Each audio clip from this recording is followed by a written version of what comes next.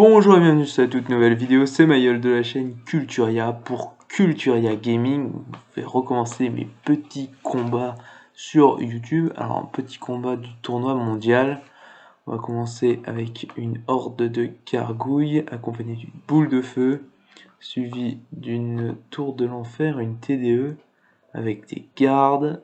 Nous allons prendre une artificière avec un chevalier accompagné d'un méga chevalier et un petit zap. Bon, c'est un deck inhabituel, sans grosse carte. J'ai déjà choisi rapidement mes petites cartes pour laisser le choix à l'adversaire, pour mettre la pression dès l'entrée du combat. Et je vais vous laisser avec la vidéo où vous pourrez voir que je vais lui mettre une bonne raclée. Allez, bon visionnage.